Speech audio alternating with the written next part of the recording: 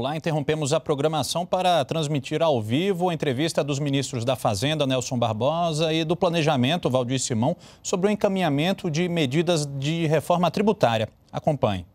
Do contingenciamento feito por parte da União e também por parte de estados e municípios. Essas propostas são propostas estruturais, são propostas que serão encaminhadas ao Congresso Nacional através de um projeto de lei complementar. Além disso, há assuntos que dizem respeito especificamente ao curto prazo, a 2016, a revisão da meta de 2016 e a atualização da programação fiscal e financeira de 2016, aquele chamado decreto de programação fiscal e financeira, que é feito de dois em dois meses. Esses assuntos de 2016, nós vamos tratar deles amanhã, quando nós apresentarmos a o novo decreto, a nova revisão das projeções e programações fiscais e vamos tratar também da proposta de alteração da meta de 16. Então, hoje nós vamos tratar aqui especificamente das propostas mais estruturais. São as propostas que, se aprovadas, têm um impacto nesse ano, mas têm um impacto também além desse ano. Tem um impacto para a União, mas também tem impacto para os governos estaduais. Nós vamos tratar hoje de quatro temas. O primeiro tema é o plano de auxílio aos estados e ao Distrito Federal. Esse é um programa que vem sendo construído já há três meses. Quando eu tomei posse no Ministério da Fazenda, já no dia 28 de dezembro, se eu não me engano, já fiz a primeira reunião com os governadores. Desde então foram feitas seis reuniões. A última reunião na semana passada. Nós apresentamos uma proposta a partir das demandas dos governadores, e desde então essa proposta tem sido trabalhada, refinada, aperfeiçoada, através de um diálogo com os governadores e principalmente de um diálogo entre os secretários do Planejamento e da Fazenda com os secretários de Fazenda estaduais. E a partir dessas conversas nós é, chegamos, creio eu, a uma proposta de, de um mínimo denominador comum para atender as principais preocupações imediatas dos estados e, ao mesmo tempo, fazer isso de uma forma que não só resolva o problema de curto prazo, mas também que crie regras e procedimentos que garantam o melhor controle das finanças estaduais neste e nos próximos anos. Então eu vou começar por essa por essa por esse tema. Em primeiro lugar, o programa de auxílio de estados e municípios, eu não sei se vocês estão projetando, está projetando ali? Tá. Tá bom. Então, essa primeira, primeiro, eu vou pedir a paciência de todos vocês, porque é um tema é, inevitavelmente longo, não tanto complexo, mas é um tema longo. Então, eu acho importante passar pelos principais aspectos. Em primeiro lugar, esse gráfico ele mostra a relação é, de endividamento dos estados, a relação entre a dívida e a receita líquida dos estados, ou seja, o quanto de dívida você tem para cada real de receita. A barra azul representa o que, é, o que era essa relação de endividamento em 1999, quando foi feito aquele primeiro programa de refinanciamento de dívida de estados. Foi feito ainda no governo Fernando Henrique. Naquela época, havia um grande endividamento, o endividamento médio era de mais de, dois, é, de duas vezes a receita. As barras vermelhas mostram qual é o grau de endividamento hoje. Vocês podem ver que eles caíram na maioria dos casos, e a média de endividamento dos estados hoje está algo entre 1 e 0,5. Ou seja, a renegociação que foi feita no final dos anos 90, do ponto de vista estrutural, ela teve um resultado positivo ela reduziu os índices de endividamento de todos os estados brasileiros, alguns mais, outros menos. Então, hoje nós não temos necessariamente o que nós economistas chamamos de um problema de estoque, de um nível elevado de endividamento como um todo. Porque, na verdade, os níveis de endividamento caíram em relação ao final dos anos 90. O que nós temos hoje é fundamentalmente um problema de fluxo, um problema de caixa, um problema de liquidez no curto prazo. E aí o próximo slide ajuda a demonstrar isso. O próximo slide mostra quais são as projeções de pagamento das dívidas dos estados junto à União. nas condições atuais e nas condições que nós, estamos constru que nós construímos nesse trabalho nos últimos meses. A barra azul mostra qual é a projeção de serviço da dívida eh, dos estados, da dívida refinanciada pela Lei 9496 de 97, sem nenhum alongamento, como ela está hoje. A barra verde mostra o que seria essa projeção de pagamento com um alongamento de 20 anos. Então, vocês podem perceber que há uma concentração de um pagamento maior nesse curto prazo, na condição atual, com o alongamento se reduz o comprometimento de pagamento agora, nos próximos 10 anos, em contrapartida desse pagamento se alonga por mais tempo. Então, isso resolve um problema que é um problema de caixa, é um problema de liquidez que vários estados estão enfrentando hoje. Lembrando que a economia brasileira está numa fase em que nós estamos vivendo uma redução do nível de atividade, em que o nível de receita, de renda, de vários agentes tem caído em relação ao que era esperado. A renda das famílias está menor do que se esperava. A renda das empresas está menor do que se esperava, a renda dos estados e da própria União também está menor do que se esperava. Nessa situação, todos têm que se ajustar, ajustar as suas despesas, mas nem todos conseguem ajustar as suas despesas rapidamente. Então, nesse processo, aparece a necessidade de um auxílio financeiro para que os agentes dos estados, as famílias, as empresas tenham tempo para ajustar as suas despesas. É com esse propósito que nós estamos apresentando essa proposta de alongamento da dívida dos estados com a União. Quais são os principais pontos é, disso? Pode passar. Haverá um alongamento da dívida dos Estados com a União previsto na Lei 9496 em 20 anos. Então, ou seja, o prazo dessa dívida iria até meados de, da década de 2020, até 2027. Além disso, nós vamos alongar por mais 20 anos. Além disso, além da dívida que os Estados têm com a União, está uma proposta adicional de autorizar a renegociação das operações de crédito contratadas pelos Estados até dezembro de 2015 junto ao BNDES nesse caso, promovendo um acréscimo de 10 anos no prazo original, sendo que nos primeiros quatro anos há uma carência do principal, ou seja, paga-se apenas os juros. Terceiro lugar, nesse mesma iniciativa, também há a possibilidade da União aceitar ativos pertencentes aos Estados, empresas públicas, participações acionárias, como uma forma de reduzir o seu pagamento de dívida, seja o estoque de dívida na, junto à União, seja uma redução da prestação que tem que se pagar à União. Então, o que nós estamos fazendo aqui, na relação entre a União e os Estados, nada mais é do que já está sendo feito em várias formas no próprio mercado.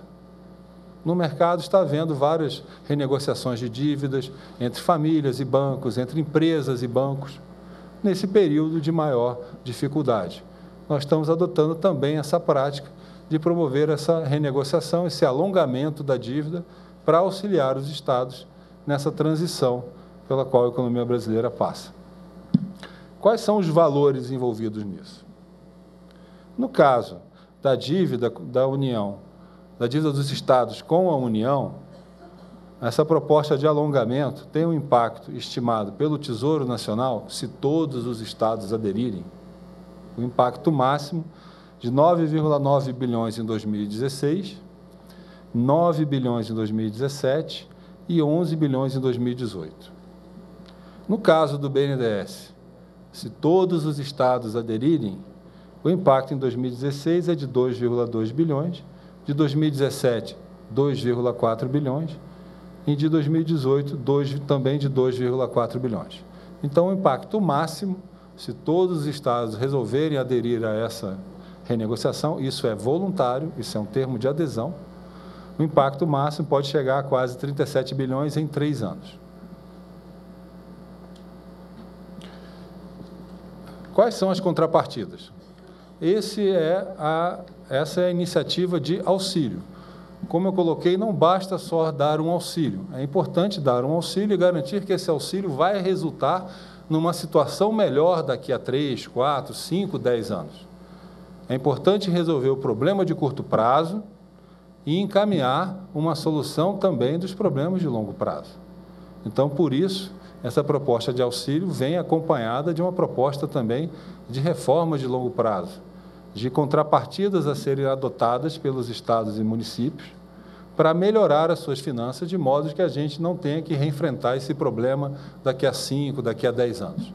Nós estamos procurando aqui fazer duas coisas: atender o problema imediato, de modo a facilitar a, a, a, recuperação da economia brasileira e, ao mesmo tempo, adotar medidas estruturais para que essa recuperação seja duradoura, seja sustentável, seja compatível com o equilíbrio das finanças públicas, seja compatível com uma recuperação do crescimento, com o controle da inflação.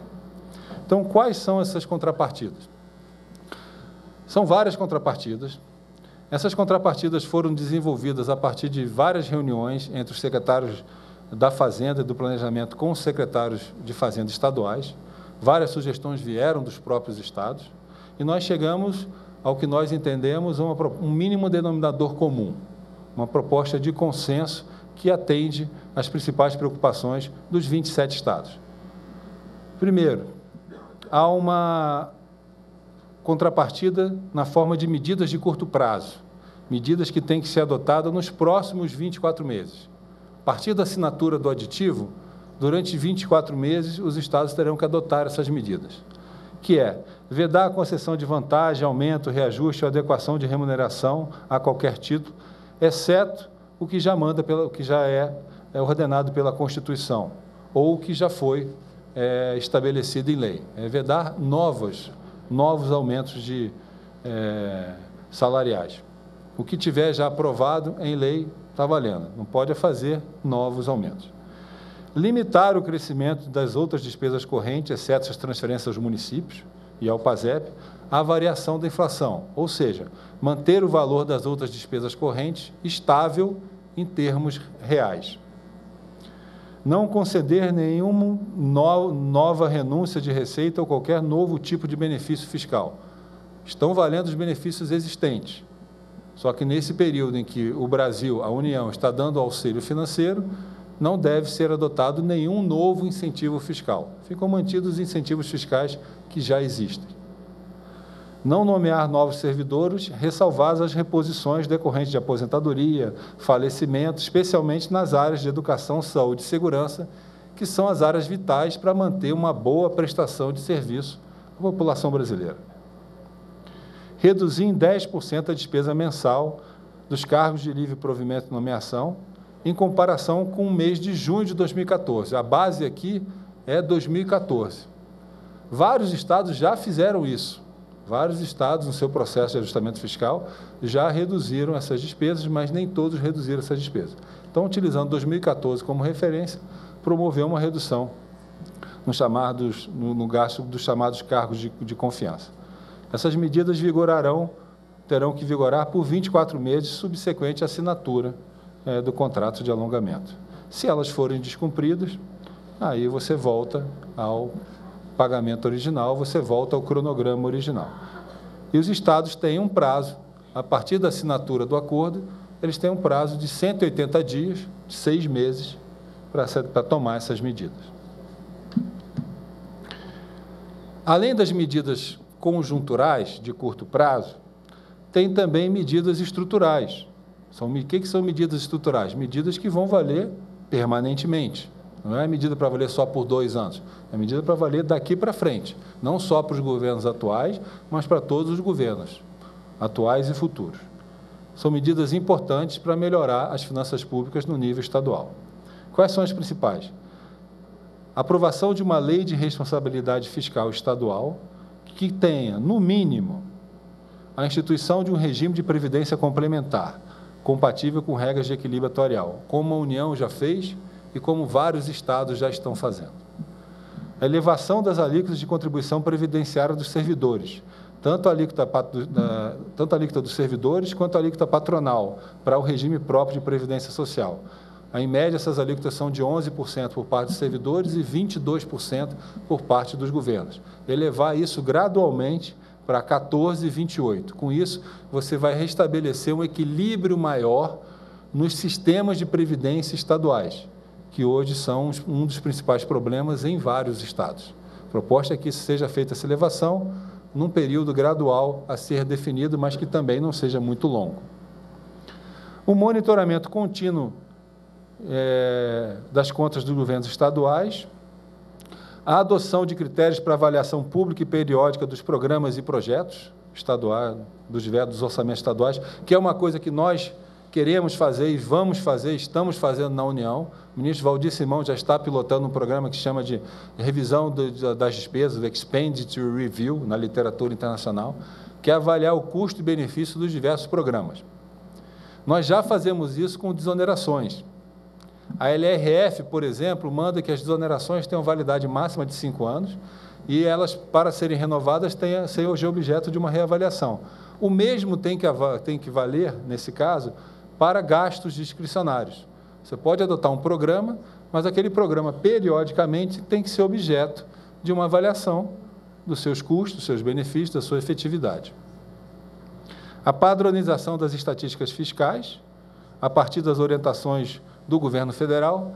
A ideia aqui é que, gradualmente, a gente construa um sistema em que nós tenhamos um demonstrativo do resultado fiscal dos estados, da mesma forma que existe um demonstrativo fiscal do resultado do Tesouro, que o secretário do Tesouro apresenta todo mês.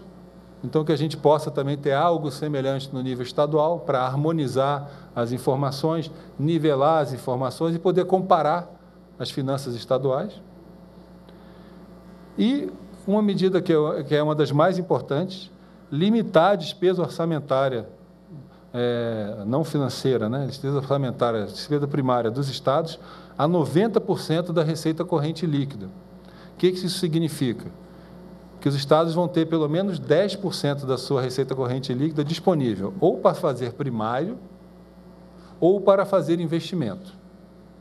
Com isso, você tem uma regra de longo prazo que garante um espaço para você abater a dívida se for para fazer resultado primário, aí tem uma poupança que o Estado faz para reduzir seu endividamento, ou você ter uma margem de 10% da sua receita para fazer investimentos em educação, em transporte, em saúde.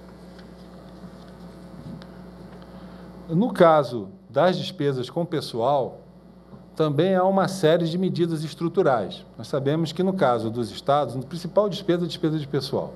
Caso da União, a principal despesa é previdência. No caso dos estados, a principal despesa é despesa de pessoal. Então, também, a partir dessas reuniões ocorridas entre Fazenda, Planejamento e secretários de estaduais, surgiu-se um consenso em torno dessas medidas que eu vou listar agora. Alterar o conceito de despesa de pessoal com a inclusão de terceirizados para atividades fim no conceito de despesa de pessoal e de apuração dessa despesa também utilizando a remuneração bruta do servidor. Por que isso? Vou dar um exemplo. Em alguns casos, em alguns estados, em alguns poderes, se exclui o imposto de renda pago pelo servidor do conceito de despesa de pessoal. Ora, isso é uma despesa de pessoal. Então, a ideia é que todo mundo tenha o mesmo conceito de despesa de pessoal, que inclua não só o seu salário líquido, mas também o imposto de renda que é pago pelo servidor.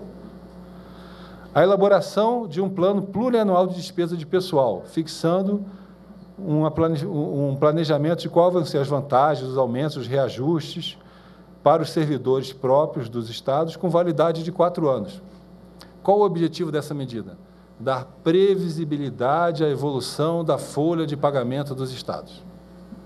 Se vocês se lembrarem, a União tem tentado fazer isso nos últimos anos. Em 2012, o governo Dilma fez um acordo de três anos com o funcionalismo federal Agora, no último ano, quando, quando eu estava no, no, Ministério do Planejamento e agora liderado pelo ministro Valdir, nós estamos também tentando fazer um novo acordo plurianual de reajuste, que prevê aumentos salariais, mas dá também um horizonte de quanto vão ser esses aumentos, não só no período de um ano, mas no período de dois a quatro anos.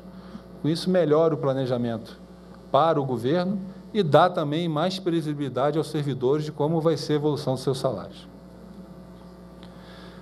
Esse planejamento vai vedar a concessão de aumento, reposição salarial, redução de carga horária ou outras vantagens nos últimos seis meses de governo. Por que isso? Porque, em alguns casos isolados, em alguns estados, ocorreu uma prática de, no final de um mandato, se dar aumento com efeito para o governo seguinte. Então, esse plano plurianual também deve evitar que no final de mandato seja dado um aumento com efeitos principalmente nos anos seguintes. Depois, uma medida mais técnica que vai alterar o valor no qual é acionado o limite de alerta. Vamos traduzir do economês isso. Os estados têm um limite de despesa de pessoal. Quando eles vão se aproximando desse limite, é acionado um alerta, dizendo: olha, você está próximo ao limite, você tem que tomar medidas. Hoje, esses limites são acionados quando você chega é, é, em 90% perto desse limite. Agora, esse alerta vai ser acionado quando você chegar a 85% do limite. É uma maneira de você disparar mais cedo um alerta sobre a necessidade de um controle de despesa de pessoal.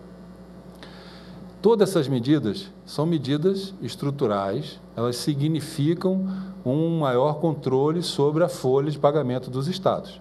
Nós sabemos que, ao adotar essas medidas, vários estados poderão estar desenquadrados em relação a essas novas regras. Então, por isso, será dado um prazo de 10 anos para que os estados se adequem a essas novas regras. A que ritmo? 10% por ano. Então, você tem no... o que diz a nova regra, você tem a situação atual, a diferença entre a situação atual e a nova regra deve ser eliminada num prazo de até 10 anos. Então, isso vai ser previsto também nessa lei complementar que nós vamos enviar ao Congresso. Então, o primeiro conjunto de auxílio, do lado, ele procura ba balancear um auxílio de curto prazo em troca de medidas estruturais de médio e longo prazo que vão melhorar de forma permanente as finanças públicas estaduais. Vai ser dado um alongamento na dívida com a União, um alongamento na dívida com o BNDES. Em troca disso, vão ser colocados critérios que vão promover um maior controle das despesas correntes, das despesas de pessoal e vão aumentar a transparência e a qualidade do gasto também no nível estadual. A partir dessas discussões, vários estados solicitaram um auxílio adicional. Por que isso? Porque tem vários estados que têm um nível de endividamento mais alto, principalmente alguns estados do Sul e Sudeste. Então, nas conversas foi solicitado também um outro tipo de auxílio. E aí, depois de várias discussões, nós concordamos em dar um auxílio adicional em troca de contrapartidas adicionais. Se um auxílio adicional vai ser dado, é natural e adequado que também ocorram contrapartidas adicionais. Então, qual é o auxílio adicional? No curto prazo, para os estados que assim desejarem, é possível obter uma, será possível obter uma redução de 40% na prestação que eles têm que pagar para a União por 24 meses. Isso não é um desconto, é uma redução na prestação por 24 meses. Essa redução depois vai ser incorporada ao saldo e vai ser paga ao longo do período que foi alongado, ao longo dos 20 anos que foi alongado mas isso dá um alívio imediato, sobretudo aos estados que têm um endividamento maior. Isso, a estimativa que nós temos que essa redução de 40% pode dar no curto prazo é uma estimativa de que ela pode dar uma redução adicional de 3 bilhões e meio em 2016, 7,2 bilhões em 2017 e 3,9 bilhões em 2018 se todos os estados optarem por essa redução. Por que 2016 só está aqui seis meses?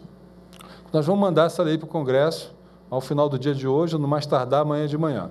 Então, nossa previsão é que essa lei vai tramitar e, se tudo der certo, será aprovada nesse primeiro semestre.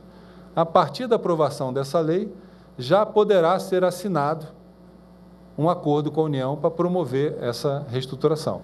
Então, nós prevemos que, se tudo der certo, nós vamos trabalhar para que isso ocorra rapidamente, que isso já esteja em vigor no segundo semestre. Então, nesse caso, qual é o benefício? Uma redução de 40% por 24 meses no pagamento da dívida. E isso vai ser incorporado ao saldo para ser pago no restante do período. Qual é a contrapartida adicional? Sempre mantendo a mesma lógica. Há um benefício, há uma contrapartida. Nesse caso, como tem um benefício adicional, tem que ter uma contrapartida adicional. Qual é a contrapartida adicional? Reduzir em 20% a despesa mensal de cargo de livre provimento vocês lembrarem, na proposta anterior era 10%. Quem optar por esse desconto adicional tem que reduzir mais 10%. Tem que reduzir 20% as despesas de, livre, de, de cargos de livre provimento. Limitar as despesas de propaganda e publicidade a 50% do que foi feito em média nos últimos três anos. E o, e o principal, não realizar operações de crédito, novas operações de crédito, pelo dobro do período de vigência de carência. Por que isso? Porque esse caso, nesse caso, esses benefícios são para os estados mais endividados. São aqueles estados que têm dificuldade, pelo seu próprio nível de endividamento, de conseguir autorização para novas operações de crédito. Então, ao dar esse auxílio adicional, os estados não precisam de novas operações de crédito. E com isso eu posso direcionar o espaço que o governo tem para dar operações de crédito para aqueles estados que são menos endividados para aqueles estados que não vão ser tão beneficiados com essa medida. Então, nós estamos procurando balancear as coisas. Para aqueles estados mais endividados, há a possibilidade de um desconto de 40%, temporário nas suas prestações. Para os estados menos endividados, não vai ser necessário esse desconto, logo eles vão ser mais beneficiados com autorizações de novas operações de crédito. A lógica é, a partir da aprovação dessa lei, já podem ser assinados esses aditivos e os estados têm 180 dias, seis meses, para aprovar as leis, os regulamentos, as portarias necessárias para adotar essas contrapartidas. Então, essa é a, o conjunto do pacote de auxílio de estados aos estados e de reforma fiscal. Qual é o impacto total que isso pode ter se todos os estados utilizarem todos os mecanismos. Em 2016, pode ter um impacto. Aí nós estamos contando que isso vai valer a partir do segundo semestre. O alongamento da Lei 9496 pode dar 5 bilhões de reais, o alongamento do BNDES, eu estou lendo a coluna de 2016 de cima para baixo. Tá? Então, o alongamento da Lei 9496, que é a dívida que os estados têm com a União, pode dar um alívio de 5 bilhões o alívio da, o alongamento da dívida com o BNDES, o impacto de 1,1 bilhão, e a redução de 40% temporária na prestação de 3 bilhões e meio, totalizando 9,6 bilhões. Isso se todos os estados optarem por todos os mecanismos. Nós não achamos que todos os estados vão optar por todos os mecanismos. Vários estados já nos apontaram que não pretendem utilizar a redução de 40%, que preferem continuar tendo auxílio a operações de crédito. Então, muito provavelmente, esse número vai ficar próximo de 6 bilhões de reais, mas nós só vamos saber esse número exato ao final do processo. Ao final, após a aprovação da lei e após a manifestação formal dos estados. Considerando o período como um todo, o impacto máximo em três anos seria de 45,5 bilhões de reais. Esse é um auxílio necessário nesse momento em que a economia brasileira passa por uma fase de ajuste de dificuldades, em que todos nós estamos tendo que fazer ajustes, as famílias estão fazendo ajustes, as empresas estão fazendo ajustes, os governos estaduais e o governo federal também está fazendo ajustes. E nesse período, é adequado que você dê um auxílio financeiro temporário em troca de contrapartidas para que você não só faça o ajuste necessário de curto prazo, mas que você saia dessa situação com as suas finanças públicas em num, num melhor, numa melhor organização. Então, esse é o resultado final da negociação que nós fizemos com vários governadores e é isso que nós vamos colocar no projeto de lei complementar a ser encaminhado ao Congresso Nacional. Passando para o segundo tema, eu falei, vão ser vários temas aqui, eu peço a compreensão de todos vocês para ah, explicar cada um deles com, a, com detalhe que é adequado. Agora, focando no caso da União. No dia, no final de janeiro, na reunião do Conselhão, eu já havia manifestado a intenção do governo de fazer uma proposta que colocasse um limite para o gasto primário da União. Porque é importante controlar o crescimento do gasto do governo federal. Um, nos últimos anos, o gasto do governo federal tem crescido e isso tem sido é, compensado ou com redução de meta fiscal ou com aumento de carga tributária. Esse é um processo que não pode continuar indefinidamente, é preciso ter um limite para o crescimento do gasto do governo federal. Então, a ideia, nesse caso, é promover uma reforma estrutural para criar mecanismos para que a União possa controlar melhor o seu gasto. Por que, é importante estabelecer um limite para o gasto? Primeiro, porque isso concentra a discussão orçamentária no que é mais importante, na composição das despesas. Ela concentra a discussão entre uma relação de custo e benefício entre os diversos programas. Se eu vou colocar mais recursos na saúde, eu vou ter que tirar recursos de algum lugar. Se eu vou colocar mais recursos no investimento, eu vou ter que compensar isso de outro lugar, que eu tenho um limite de gasto dado. Essa é uma discussão orçamentária que todos nós vivemos no, no dia a dia das nossas famílias, das nossas empresas, e tem que ser assim também no governo federal. Em segundo lugar, ao colocar um limite para o gasto público, eu evito a necessidade recorrente de aumentar a carga tributária. Se o gasto estiver controlado, não precisa aumentar a carga tributária. Segundo, em terceiro lugar, ao controlar melhor o gasto público, eu vou diminuir a rigidez do gasto público, vou diminuir a rigidez do chamado gasto obrigatório.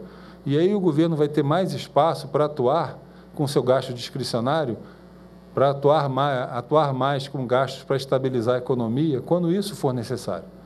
Se 90% do meu gasto é rígido, eu tenho muito pouco espaço para atuar e estabilizar a economia quando isso é necessário. Tendo maior controle de gasto, o governo tem mais capacidade de atuar para a estabilização da renda e do emprego, como é o caso atual, quando isso for necessário. Você tem um gasto 100% rígido, na verdade você pode fazer quase nada no curto prazo. Você tendo um controle maior do seu gasto obrigatório, você tem mais espaço para adequar o seu gasto discricionário às necessidades de curto prazo da economia.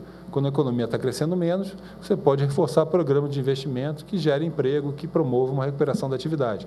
Quando a economia está crescendo mais, você pode diminuir esses programas para reduzir o endividamento do governo. E a experiência internacional mostra que os países que tiveram mais sucesso em equilibrar suas contas públicas são justamente os países que tem regras de controle de gasto. Então, aqui, nós não estamos inventando nada novo, nós não estamos produzindo uma jabuticaba, nós estamos é, nos baseando em experiências bem-sucedidas no resto do mundo. Para dar um exemplo de como evoluir as despesas primárias, esse gráfico aí mostra a evolução das despesas primárias em percentual do PIB desde 1997. Essas despesas primárias tiveram um crescimento ali até 2002, depois disso, elas ficaram relativamente estáveis em até 16% do PIB até 2011. E a partir do momento que houve uma desaceleração do crescimento da economia e um aumento também, e a, continu, e a continuação do aumento dessas despesas, o volume de despesas dos primários do governo vem crescendo, sobretudo nos últimos três anos, porque houve uma redução do crescimento. Isso aí é o que nós economistas chamamos de uma razão, né? tem um numerador, tem um denominador. O numerador, que são as despesas públicas, continuaram crescendo. E o denominador, que é o PIB, desacelerou. Então, isso se verifica um aumento maior no crescimento das despesas nos últimos anos. Olhando para a decomposição entre despesas obrigatórias e despesas discricionárias, e aí a gente só tem dados a partir de 2002, por quê? Porque é a partir de 2002 que tem a LRS, que existe com mais clareza essa distinção do que é despesa obrigatória e o que é despesa discricionária. As despesas obrigatórias, nós podemos observar que elas ficaram relativamente estáveis ali de 2005 até 2013 em algo em torno de 13% do PIB. A partir de 2014, com a desaceleração do crescimento, as despesas obrigatórias continuam a crescer, porque elas, as regras são dadas pelas leis e pela Constituição, mas o PIB passou a crescer mais lentamente. Então, a gente observa esse crescimento bem forte das despesas obrigatórias. E é por isso que nós temos enfatizado que na fase atual da economia brasileira, nós temos que evoluir do ajuste fiscal para a reforma fiscal. Evoluir de medidas de curto prazo para medidas de longo prazo que deem instrumentos ao governo brasileiro para controlar melhor as chamadas despesas obrigatórias.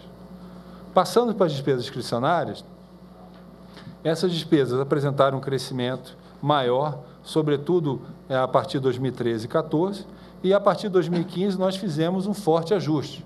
Né? Lembrando, no ano passado nós fizemos o maior contingenciamento da história do Brasil, desde que existe contingenciamento, desde que existe, existe LRF. Reduzimos as despesas discricionárias em 0,7% do PIB. E esse ano o contingenciamento que já foi feito traz as despesas discricionárias um pouco mais abaixo, para 3,8% do PIB. Infelizmente, isso não é suficiente. Por quê?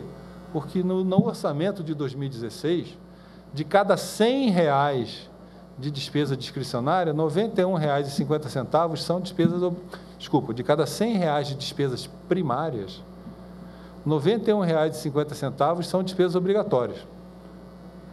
Só R$ 8,50 são despesas discricionárias. Então, no curto prazo, o governo tem um controle muito pequeno sobre o volume das suas despesas. Então, para endereçar esse ponto, como nós já tínhamos pré-anunciado na reunião do Conselhão, e desde então temos trabalhado em conjunto com a Casa Civil, o Ministério do Planejamento, a nossa proposta é estabelecer um limite, um teto para o crescimento das despesas primárias federais. Como vai ser operacionalizado isso? A LRF vai determinar que o plano plurianual terá que estabelecer um volume máximo para as despesas primárias em percentual do PIB. Então, exemplo, o que é o plano plurianual? Todo primeiro ano do governo, o governo tem que fazer um plano para os próximos quatro anos. É a ideia é que esse plano chegue e coloque, olha, nos próximos quatro anos a despesa primária vai ter que ser no máximo X% do PIB. No caso dos estados e municípios, esse limite vai ser dado como uma percentual da receita primária total, porque foi assim que os secretários de Fazenda melhor acharam. Fixado esse limite em percentual do PIB no PPA, quando você for elaborar o orçamento anual, e no caso do governo é quando você vai fazer a chamada LDO, Lei de Diretrizes Orçamentárias, você vai traduzir esse percentual num valor. Então você vai dizer lá, o limite máximo para despesa é X% do PIB. X% do PIB para o ano de 2019 é um trilhão e tantos bilhões de reais. Aí você fixou um valor. Esse valor é o teto da despesa. Se ficar verificado na elaboração da lei orçamentária que a despesa pode exceder esse limite, serão acionados cláusulas automáticas de ajuste de despesa. Para quê? Para trazer a despesa para baixo desse limite máximo. Novamente, aqui nós estamos adotando uma prática que não é exatamente igual, mas segue a lógica de um mecanismo que foi adotado nos Estados Unidos, que estabeleceu alguns limites de contenção de despesa automática caso a despesa ultrapassasse um determinado nível. Então, a ideia aqui é que, ao elaborar o orçamento, se verificar que a legislação em vigor, as condições da economia vão levar a despesa a um nível considerado excessivo, e nesse ponto nós não estamos dizendo o que é nível excessivo, nós estamos apenas eh, delineando as regras. Caberá ao Congresso Nacional, no PPA, na LDO, determinar o que é ou não excessivo. A ideia aqui é estabelecer o mecanismo para que o Estado possa atuar. Então, se houver previsão que o gasto vai extrapolar esse limite, que ainda terá que ser definido pelos representantes eleitos pela população, você pode acionar um ajuste automático. E esse ajuste automático, ele envolve três estágios sequenciais. O primeiro estágio, você restringe a ampliação do quadro de pessoal, vedando a criação de novos cargos e funções e alteração de estruturas de carreiras, e também contratação de pessoal, ressalvadas as reposições necessárias há também uma restrição a aumentos reais. Há permitido aumentos nominais de salário, mas há uma restrição para aumentos reais eh, de servidores. Há também uma restrição a aumento real de despesas de custeio e despesas discricionárias. Se você está com gasto excessivo, não é adequado você aumentar esse gasto em termos reais. E há também uma redução das despesas com cargos de comissão, também com uma redução de pelo menos 10% similar ao que a gente colocou no programa dos estados. Então, a União não só está propondo uma coisa para os estados, está também propondo para si mesma regras de controle de gasto. Esse primeiro estágio, se ele for suficiente para trazer o gasto abaixo do limite definido pelo Congresso, o processo para por aí. Se ele não for é, suficiente, nós vamos para um segundo estágio. Qual é o segundo estágio? aí você tem uma vedação de aumentos nominais. Você não tem uma, um aumento nominal de despesas com, com servidores, ressalvado o mínimo constitucional, que, que determina o aumento mínimo. Também há uma restrição à concessão de novos subsídios, novas desonerações. Se eu estou numa situação de gasto excessivo, não é adequado conceder novos subsídios e novas desonerações. Se mantém as vigentes, mas não se amplia concedendo os novos subsídios e novas desonerações. Há uma restrição ao crescimento é, real da despesa discricionária de custeio, e aí você tenta manter as despesas de custeio e despesas discricionárias no mesmo nível é, real, e uma redução adicional das despesas de carro comissionado se esse estágio for suficiente para trazer o gasto ao limite, isto é, é isto é suficiente, o processo para por aí. O terceiro estágio de ajuste de controle de despesa envolve, é, e é o último estágio, envolve uma, um conjunto de limitações adicionais. Se os dois estágios anteriores não forem suficientes, o salário mínimo continuará crescendo, pela inflação. Está garantido o crescimento do salário mínimo pela inflação. Um crescimento real do salário mínimo fica, então, adiado até que a situação se normalize.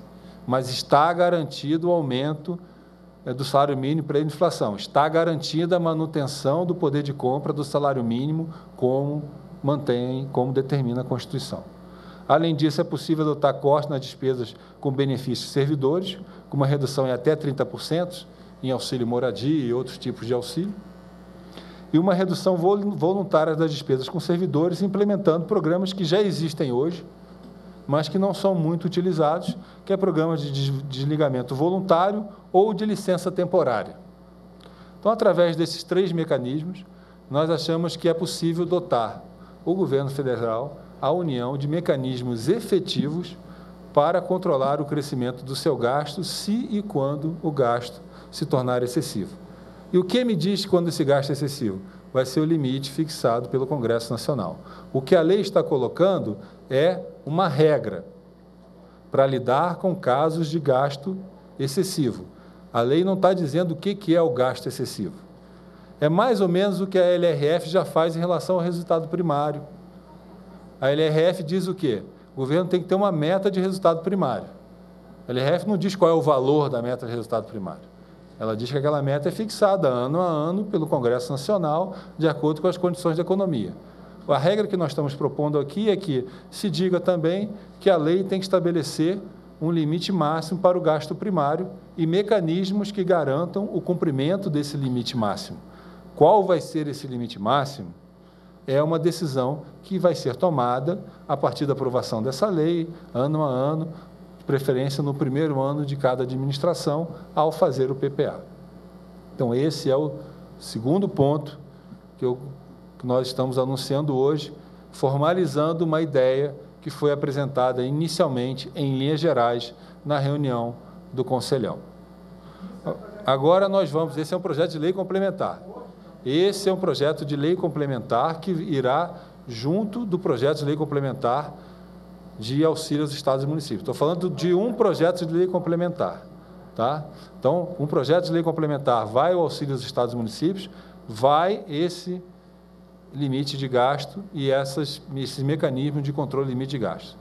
Tem mais duas coisas que vão nesse projeto de lei complementar, que são os dois tópicos, dois últimos tópicos que eu vou apresentar agora. Já agradeço antecipadamente a paciência que vocês estão tendo com essa explicação, que é realmente longa. Terceiro ponto que vai no projeto de lei complementar. Nos últimos anos, nós temos verificado um problema recorrente. Um problema recorrente que tem levado o governo a revisar as suas metas de resultado primário diante da performance da receita. Desde o fim do super ciclo de commodities, a receita do governo tem caído. Hoje a receita é, tributária, a carga tributária do governo federal, diferente do que algumas pessoas colocam, na verdade, ela hoje está mais baixa do que no nível de 2011 e 2012. Na verdade, a carga tributária não previdenciária do governo federal, ela está no nível de 2002.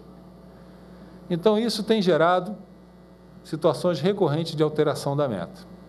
E nós vamos, como eu falei, amanhã apresentar o nosso pedido de alteração da meta para 2016, uma situação conjuntural. Mas nós também, também achamos necessário endereçar esse, esse ponto de, um, de uma maneira estrutural. para que não fique só ano a ano o governo tendo que apresentar propostas de mudança, uma vez, uma vez sim, outra vez não. É preciso também ter um mecanismo estrutural para lidar com casos em que a União se defronta com uma forte queda de receita. É preciso adotar regras mais racionais de contingenciamento para casos extremos. E o que são casos extremos? Casos de baixo crescimento caso em que há uma queda no crescimento da economia que afeta, como eu falei, a receita de todos os agentes, famílias, empresas e governo. Então é por isso que nós estamos propondo uma terceira modificação a ser encaminhada nesse projeto de lei complementar, que é criar o regime especial de contingenciamento, o REC, regime especial de contingenciamento. Esse é um regime que poderá ser decretado quando a economia estiver em baixo crescimento nos termos já previstos pela LRF. A hipótese de baixo crescimento já está especificada na LRF. Ela já tem uma cláusula que define o que é baixo crescimento. O que, a LRF define como baixo crescimento? O artigo 66 da LRF diz, por exemplo, que os prazos estabelecidos nos artigos 23, 31 e 70, que são os artigos que lidam com os limites de gasto dos estados, poderão ser duplicados, ou seja, poderá ter um prazo maior de ajustamento, é, no caso de crescimento real baixo ou negativo do produto interno bruto, nacional, regional ou estadual, por um período igual ou superior a quatro trimestres. Traduzindo do economês, se a economia estiver crescendo pouco, você pode fazer, você pode dilatar os períodos de ajuste dos estados e dos municípios às suas regras. E o que, que é a economia crescer pouco? O que, que é definido como economia crescer pouco? Na LRF, no parágrafo 1 do artigo 66, entende-se por baixo crescimento taxa de variação real acumulada do produto interno bruto inferior a 1%, no período correspondente aos quatro últimos trimestres. Traduzindo do economês, entende-se por baixo crescimento quando a renda, a soma do valor dos produtos e bens e serviços produzidos pela, pelas empresas, pelas famílias brasileiras, foi inferior a 1%. Então, nessa situação, que é uma situação atípica, é uma situação que não ocorre normalmente, mas que infelizmente está ocorrendo agora na economia brasileira. Então, a nossa proposta é criar um regime especial de contingenciamento que pode ser aplicado, não é obrigatório, ele pode ser aplicado em períodos de baixo crescimento, de, se, utilizando a definição de baixo crescimento que já consta da LRF. E o que, que esse regime de especial de contingenciamento permite? No caso do governo adotar um regime especial de contingenciamento, o governo poderá preservar despesas de caráter essencial ou estratégico. Porque pode acontecer, como aconteceu no ano passado, uma queda substancial de receita, devido à queda da, do crescimento do PIB ou devido à queda do crescimento de commodities, que torna necessário um contingenciamento muito substancial. Um contingenciamento que pode colocar em risco a manutenção de algumas despesas essenciais para o funcionamento do Estado, essenciais para prestar os serviços básicos, serviços públicos básicos à população. Então, no caso de um regime especial de contingenciamento, o governo poderá preservar, por exemplo, investimentos em fase final de execução. Às vezes nós temos investimentos que faltam só 5, 10% para serem concluídos. Exemplo, Ferrovia Norte-Sul. Falta muito pouco para concluir a Ferrovia Norte-Sul. Outro exemplo, integração do projeto de integração do São Francisco. Falta muito pouco para concluir esse projeto. Então, o governo poderá preservar esses projetos do contingenciamento. Outras coisas podem ser preservadas: despesas essenciais para a prestação de serviços públicos, despesas de segurança, despesas de, de educação, despesas de saúde, que são necessárias para manter o atendimento básico à população. São despesas de interesse social. A preservação dessas despesas atende o preceito da Constituição. Você tem que preservar despesas de interesse social. Você tem que garantir o bom funcionamento do Estado e o atendimento das demandas da população. E também despesas necessárias para o funcionamento dos órgãos do governo. Despesa de água, despesa de energia, despesa de manutenção predial, de segurança. Ou seja, mesmo numa situação que você tem uma queda substancial de receita, num período de baixo crescimento, nesse regime o governo pode preservar despesas para, por exemplo, não ter que cortar água de hospital nem luz de escola, não ter que cortar merenda de aluno, nem ter que cortar despesa básica para manter os nossos soldados, despesas básicas para manter a vigilância de fronteiras, a emissão de passaporte, a emissão de moeda, despesas essenciais para o funcionamento da economia brasileira. Com isso, nós estamos querendo dar uma racionalidade maior ao contingenciamento. Essa racionalidade é uma racionalidade com justificativa. O governo, ao se optar por o regime especial de contingenciamento, ele pode preservar algumas despesas consideradas essenciais, prioritárias ou estratégicas, mas isso tem que ser, ter, tem que ser feito com justificativa. As autoridades vão ter que justificar por que, que aquelas, aquelas despesas são essenciais, não é qualquer despesa. Se eu quero preservar, por exemplo, a despesa de merenda escolar, eu tenho que fazer uma justificativa por que, que é necessário preservar a despesa de merenda escolar, mesmo num cenário de baixo crescimento. Então, só para dar um exemplo de despesas que poderiam compor o regime especial de contingenciamento, investimentos estratégicos em defesa. Vou dar outro exemplo. O Brasil tá, tem um programa de lançamento de satélite. Lançamento de satélite obedece um cronograma internacional. O Brasil tem uma janela para lançar um satélite.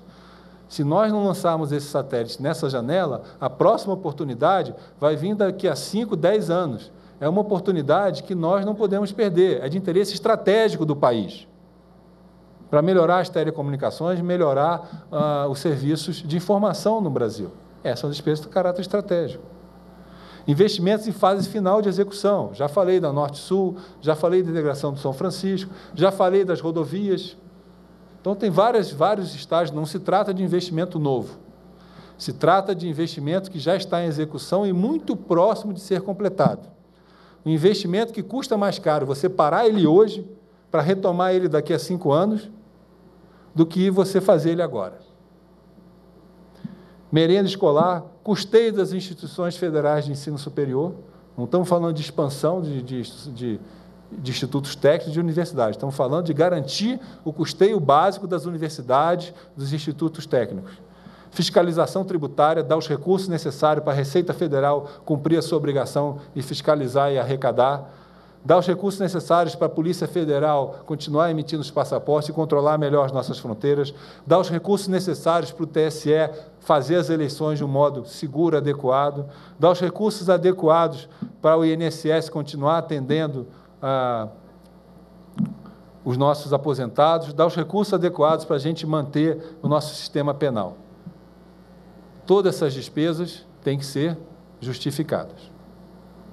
Ao utilizar o regime especial, se o governo quiser utilizar o regime especial de contingenciamento, ele vai ter que justificar, cada autoridade, cada ministério vai ter que justificar por que aquela despesa é essencial. Como vai ser essa prestação de contas? Quando a situação de baixo crescimento for verificada e o governo decidir acionar o regime especial de contingenciamento, os órgãos deverão encaminhar justificativas sobre as despesas consideradas essenciais e prioritárias, para que elas possam ser incluídas no REC. E isso vai ser submetido às autoridades de controle, vai fazer parte dos relatórios usuais de programação financeira que são encaminhados ao TCU. Isso é um mecanismo de controle e de melhor governança e nos anos em que o regime especial de contingenciamento for aplicado, além dessa prestação de contas em real time, na medida em que ela é feita em cada decreto bimestral, ao final do ano, o governo tem que encaminhar uma explicação ao Congresso Nacional justificando o que foi preservado, por que foi preservado e qual foi o resultado dessa preservação. Com isso, senhoras e senhores, e principalmente para as pessoas que estão ouvindo isso em casa, nós estamos procurando manter o controle necessário sobre as despesas do governo e, ao mesmo tempo, fazer isso de uma forma que não prejudique a população brasileira. De uma forma que garanta a manutenção dos serviços essenciais de Estado, que garanta a manutenção dos funcionamentos dos hospitais e das escolas, que garanta os recursos necessários para que a polícia, para que a Receita Federal cumpra suas funções, que garanta o funcionamento do Estado para atender a população brasileira. E tudo isso de uma forma transparente e com prestação de contas, que é como é feito nas principais economias do mundo. Agradeço pela terceira vez a paciência de vocês. Eu vou para o quarto e último item do projeto de lei complementar que nós vamos encaminhar ao Congresso Nacional. Esse não tem muito a ver com execução fiscal, tem a ver com é, as operações do Banco Central. Tá? Todos esses quatro itens são o mesmo projeto de lei complementar. Como eles todos envolvem lei complementar, nós decidimos colocar todos eles em um projeto só, até para que ele possa ser apreciado com a velocidade necessária que a economia precisa nesse momento. Bom, nesse caso, agora eu vou mudar o seletor, vou falar de política monetária, vou falar de Banco Central. É, nos últimos anos, no Brasil e em vários países do mundo, foi necessário expandir a liquidez, por motivos diferentes. Nos Estados Unidos e na Europa, o Banco Central Europeu e o Federal Reserve, que é o Banco Central americano, tiveram que fazer o tal do quantitative easing. Eles tiveram que comprar títulos públicos e privados jogando recursos na economia. Né? Quando o governo compra um título, o que, que ele faz? Ele pega o título e joga moeda na economia. E aquela moeda fica lá. Como, como os bancos centrais do mundo também têm uma meta para a taxa de juro, ao final do dia, eles têm que retirar aquela moeda que eventualmente seja excessiva. E como é que eles fazem isso? Eles fazem isso ou vendendo títulos, nas chamadas operações compromissadas, ou através de depósitos remunerados, recolhendo essas reservas excessivas para que os bancos possam depositar no Banco Central. Então, no caso dos países desenvolvidos, houve uma expansão de liquidez devido ao quantitative easing. No caso do Brasil, também houve uma expansão de liquidez nos últimos anos, devido ao quê? acumulação de reservas internacionais. Quando o governo compra dólares, ele dá algo em troca. O que, que ele dá em troca? Reais. Quando o governo compra dólares, ele bota reais na economia. E se aquele volume de reais na economia se, se demonstra excessivo, ao final de um dia, o governo tem que ir lá e retirar esses reais da economia fazendo, vendendo títulos, fazendo o que os economistas chamam de operações compromissadas ou zeragem automática. Pois bem, no caso do Brasil, o principal instrumento para fazer isso são operações compromissadas. Esse é o único instrumento que o Banco Central tem para fazer isso. Para retirar a liquidez da economia, ele tem que ir lá e vender um título público e tirar essa liquidez da economia. Em outros países do mundo, e aí novamente isso não é jabuticaba, ocorre na Europa, ocorre nos Estados Unidos. Além de operações compromissadas, há esse mecanismo chamado depósitos voluntários remunerados no Banco Central. Novamente, depósitos voluntários remunerados no Banco Central. Então, o Banco Central ele pode retirar a liquidez da economia ou vendendo títulos ou captando depósitos dos bancos. Isso é feito pelo Federal Reserve, que é o Banco Central Americano, isso é feito pelo Banco Central Europeu. Nos últimos anos, o gráfico vai mostrar que há uma certa correlação. A linha laranja é o volume de reservas internacionais do Brasil em bilhões. A linha é, azul é o volume de operações compromissadas feitas pelo Banco Central. Nos últimos anos, ao comprar reservas, o Banco Central injetou liquidez na economia e teve que esterilizar isso, teve que compensar isso, fazendo operações compromissadas para retirar essa liquidez da economia. Então, o que nós estamos propondo agora é dar um mecanismo adicional para que o Banco Central possa fazer melhor suas operações de política monetária. A ideia é autorizar o Banco Central a também ter a possibilidade de receber depósitos voluntários e remunerados das instituições financeiras. O que no resto do mundo, por exemplo, nos Estados Unidos é chamado de excess reserves, reservas excessivas, reservas que estão além das reservas compulsórias. São aquelas reservas que os bancos têm além do que eles já têm que cumprir normalmente pela regulação do CMN. Então, a ideia é autorizar o banco, dar mais um instrumento para que o Banco Central possa realizar o seu controle diário de liquidez. Continua tendo cooperação compromissada, mas agora tem um instrumento adicional. O que essa lei propõe, eu vou passar para o. Pro, eu vou passar para o último slide, slide 7. O que essa lei propõe é criar esses depósitos remunerados, é uma alteração na lei do Banco Central, dizendo que o Banco Central pode fazer operações compromissadas e pode também ter depósitos voluntários remunerados. Isso, então, vem a criar uma alternativa. Isso não é uma substituição, é uma alternativa. Essa lei, uma vez aprovada, o Banco Central, então, vai poder decidir, no dia a dia, qual que é o melhor instrumento que ele vai usar para administrar a liquidez da economia. Se ele vai querer fazer operação compromissada ou se ele vai querer fazer depósito remunerado. E isso vai alinhar as práticas do nosso Banco Central às melhores práticas adotadas pelos principais bancos centrais do mundo, nos Estados Unidos e na Europa, e vai possibilitar que a gente alinhe as nossas estatísticas de dívida às estatísticas internacionais. Que hoje, pelo fato do Banco Central não poder receber reservas voluntárias dos bancos, ele tem que fazer tudo via operação compromissada. Para fazer operação compromissada, ele precisa o quê? Ele precisa ter alguma coisa para dar para o sistema financeiro para tirar o real. Ele precisa ter título público. Então, como o Banco Central não tem outra alternativa à operação compromissada, recorrentemente o Tesouro Nacional tem que emitir títulos para dar ao Banco Central, para que o Banco Central possa fazer sua administração de liquidez. Sendo que na maior parte do mundo isso não é necessário. O Banco Central pode fazer ou via operação compromissada ou via captação de depósitos voluntários dos bancos. Ao fazer isso, nós estamos alinhando as práticas monetárias do Brasil às práticas monetárias internacionais. Essa é uma medida que nós temos discutido com o Banco Central já há alguns meses.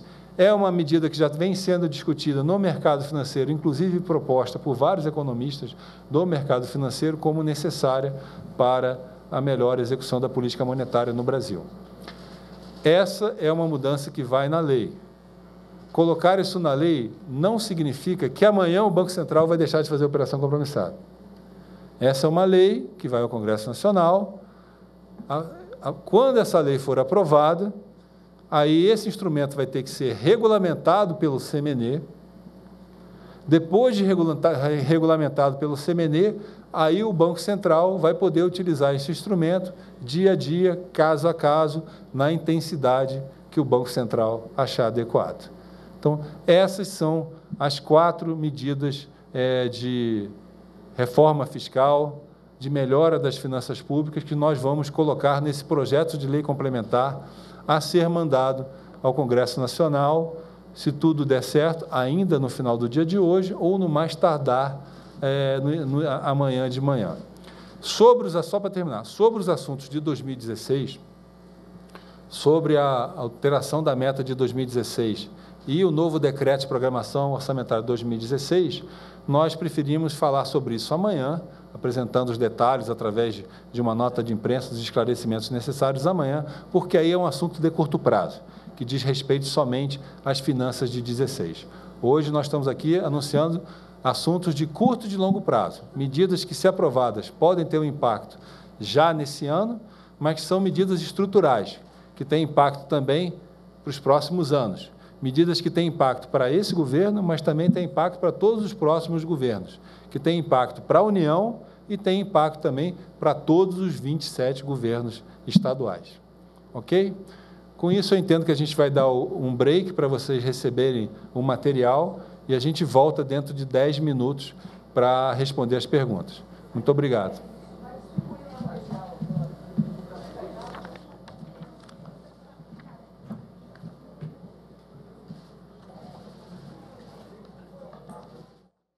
Nós acompanhamos a apresentação do ministro da Fazenda, Nelson Barbosa, sobre o encaminhamento de medidas de reforma tributária. Podemos voltar a qualquer momento. Continue na NBR, a TV do Governo Federal.